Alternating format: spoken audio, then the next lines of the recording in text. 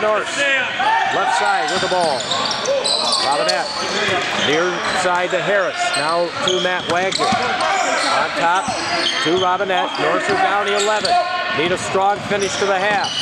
Robinette scoops and scores.